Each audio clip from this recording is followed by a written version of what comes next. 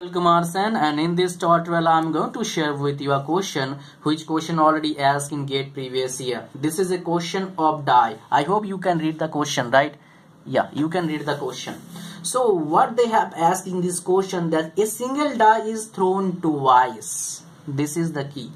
In this question this is one of the key that they are throwing this die they are throwing this die twice so a, one die is having how many faces? You know that?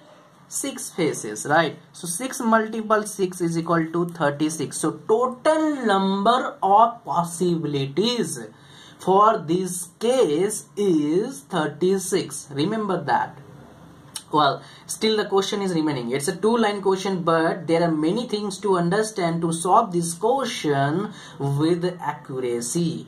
Now what is the probability that the sum is either 8 or 9 we need to know this. 8 or 9 what is sum?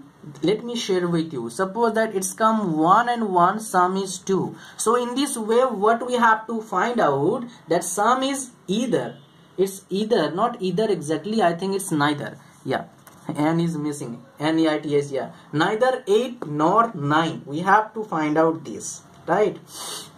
So what we are going to exactly do we'll find out first the sum is sum is either 8 or 9 okay? So what we have to do for this we need to do simple thing what is that? Let me share with you. First of all we have to find out how many possibilities are there how many possibilities are there for this. I mean for the sum 8 or 9 okay?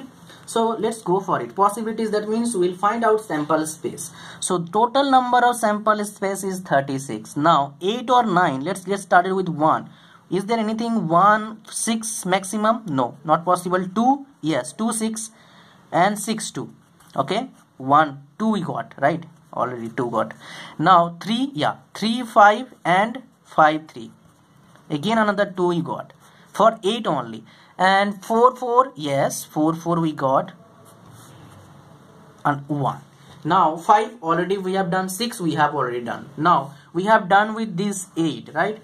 Now let's go for the 9 so total number of possibilities we got for the case of 8 is 5. For 9, so 1 6 no, 2 6 no, 3 6 yes. 3 6 and 6 3. So there are two possibilities, right? Now 3 6 and 6 3 done. 4 yes. 4 5 and 5 4. So total possibilities done 2. Now now 4 we done 5 6 3 we have done. So total number of possibilities we got 4 now we could do it that we'll write all 36 possibilities then we'll choose 8 and 9 sum. But that could be quite lengthy. That's why i'm sharing with you the shortcut for solving this type of question when you don't have any other methods to implement okay? So total number of possibilities according to this question is 5 plus 4 is 9 this is simple right? Addition is simple. Anybody can do it. At least if you are preparing for competition examination just like GATE so total number of possibilities is 9 now what i am going to do i am going to find out probability that the sum is either 8 or 9 then 9 by 36 probability is equal to 9 by 30, 30 that means 1 by 4 that is probability of sum of 8 or 9 if the question according to the question we have to go right? They ask neither 8 nor 9 that means we have to do 1 minus 1 by 4 that is 4 minus 1 that is 3 by 4 is the right answer for this question. Now look at the options we have given in this question. So i think not i think it's c or right? Option c is the right answer for this question isn't it? You can see it right? So option c is the right answer for this question. So this is how you can find out probability in case of die. All right now let me share with you one thing. If there are three dies then what is the to total number of sample space do one thing. 6 multiple 6 multiple 6 so 3 6 3 6 so that that is 30 36 multiple 6 i think. 6 and a third 21 yeah. It's uh, uh 36 multiple 6 that means 216 that's right.